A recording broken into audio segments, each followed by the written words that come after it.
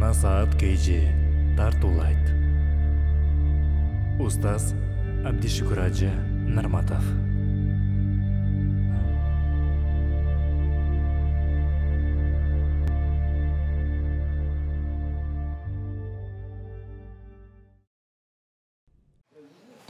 Ислам динімізде аялдың қадір барқы өте жоғары. Аял менің енем эжем қарындашым өмір жолдошым қызым. Сіздің де ошондой урматтуу мусулман бир тууган кыяматта аллах таала аялдардан биринчи сурай турган маселе аялдар кулагына кулак сырга кылып тагып алсын пайгамбарыбыз саллаллаху алейхи вассалам айтты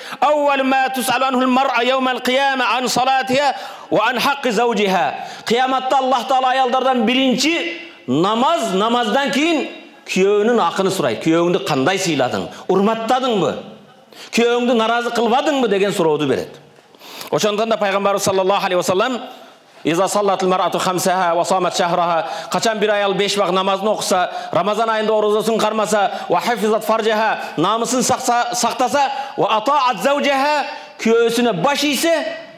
айтылат экен кыяматта бейиштин сегиз эшигинин кайсысынан кааласаң бейишке киргин дейт экен аял заты беш убак намаз окуса оразасын қармаса намысын сақтаса күйеуісіне баш ийсе бейіштің қайсы есігінен қаласаң кіргін деген бұйрық болады екен. Бірақ құрметті мұсылман бір туған тілекке қарсы бүгін біздің келешек муынды тарбия қылып жатқан балдарыбызды тарбия қылып жатқан аялдарыбыздың көбі исламдың ысымыдан құрандың расмиден башқаны білбейді. Аты эле мұсылман болбосо анын затына қараған кезде мұсылманшылықтың еш нәрсесі көрінбейді көбінен мысалы менің сөзім апыртма болбосын барып айтың біреусі намаз оқы десең миңдеген шылтоону табады кейбірін үйде намаз оқы десең бойымда бар эле дейді а болуптур деп күтөсүз тогуз айдан кийин төрөгөндө окуйт экен деп төрөгөндөн кийин оку десең мен бала эмизем дейт бала эмизгенден кийин оку десең балам басып өзү бир нерсе жей турган болсун дейт баласы басып өзі бір нәрсе жей тұрған эми намаз оқы десең эми экинчи жолу кайра боюма бүтүптүр дейт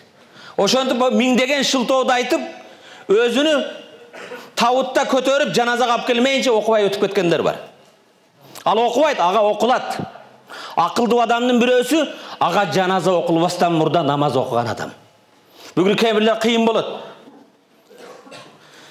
да бир чогулушта айттым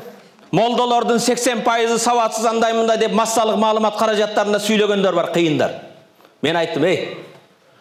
сен профессор болсаң да академик болсаң да ертең ошо сен айтқан молдоға мұқтаж болосың сага окшогондун сексени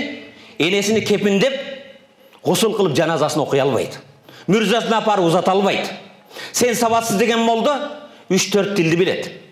сага колуңа куранды берсе куранда бир тааныш тамгаңды да таппайсың